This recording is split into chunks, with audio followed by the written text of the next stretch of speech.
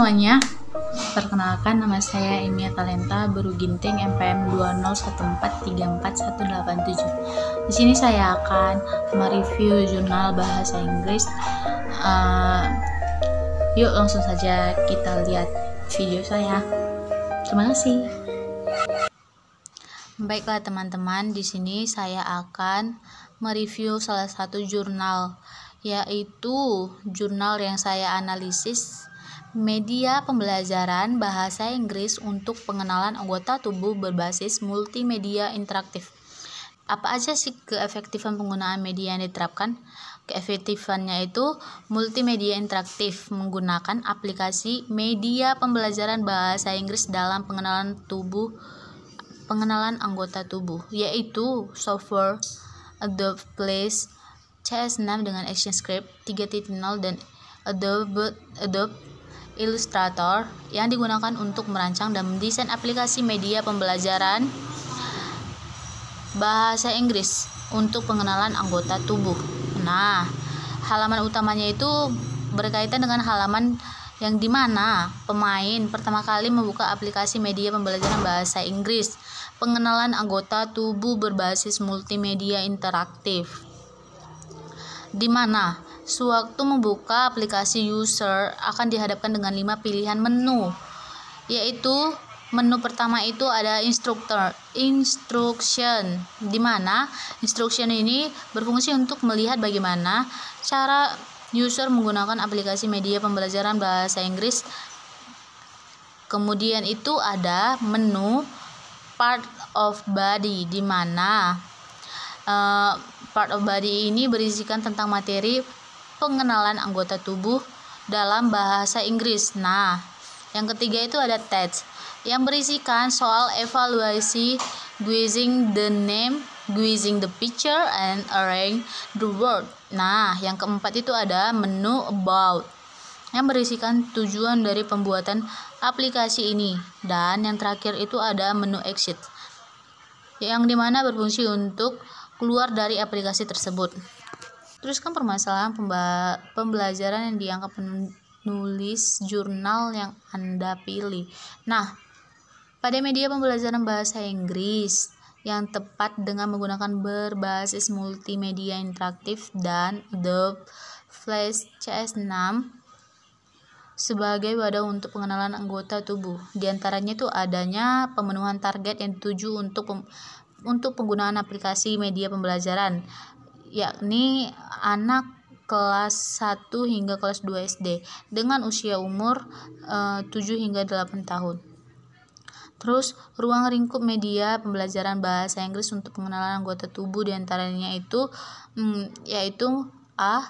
Karakter yang digunakan yaitu kartun agar dapat menarik minat anak-anak kelas 1 hingga kelas 2 SD.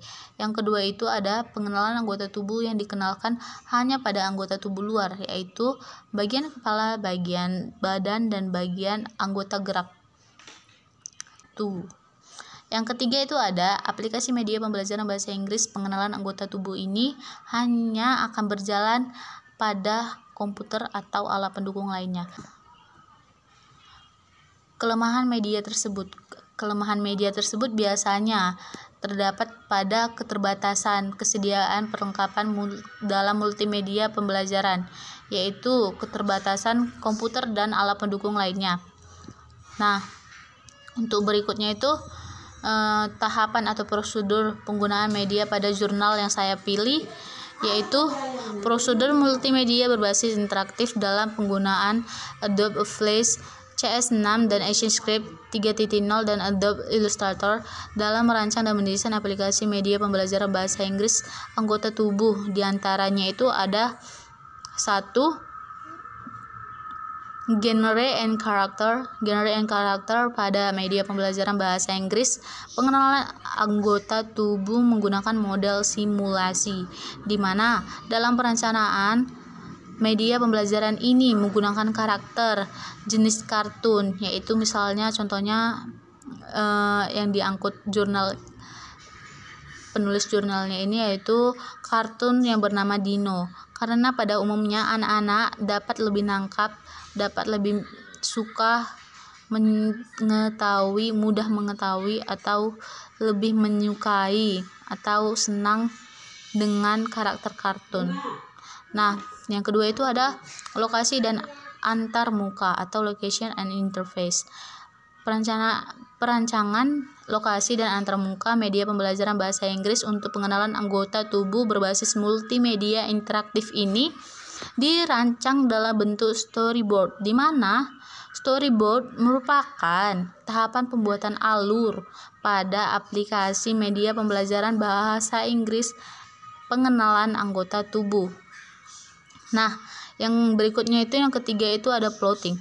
Plotting ini setelah menyusun sesudah menyusun location and interface uh, uh, fungsinya itu untuk menghubungkannya dengan action dan event untuk menunjukkan berbagai jalan cerita atau belasan interaktivitas di mana plotting ini merupakan alur ataupun uh, ceritanya itu menghubung-hubungkannya itu disatukannya uh, uh, kartun-kartun tersebut menjadi sebuah kart, uh, sebuah penyelesaian cerita atau terdapat satu buah cerita dengan permasalahannya masing-masing gitu.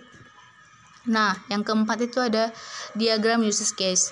Use case menggambarkan fungsionalitas yang diharapkan dari sebuah sistem yang menjelaskan keseluruhan kerja sistem secara garis besar dengan mempresentasikan interaksi antar aktor yang dibuat serta memberikan gambaran fungsi-fungsi pada sistem tersebut. Nah, yang kelima itu ada diagram activity. Diagram activity, diagram activity menggambarkan bahwa user akan memulai membuka aplikasi dan kemudian menampilkan menu utama. Selanjutnya, memilih menu dan kemudian akan menampilkan daftar menu yang ingin dipilih. Kemudian yang keenam itu ada diagram sequence Diagram sequence ini menggambarkan bahwa user akan memulai aplikasi dengan memilih halaman utama, kemudian akan membuka aplikasi. Selanjutnya, mengklik tombol menu, kemudian akan menampilkan halaman menu berikutnya hingga akhir. E, baiklah teman-teman, demikianlah e, hasil review dari jurnal yang saya angkat yaitu media pembelajaran bahasa Inggris untuk pengenalan anggota tubuh berbasis multimedia interaktif. Mohon maaf bila ada yang salah. Sekian dan terima kasih.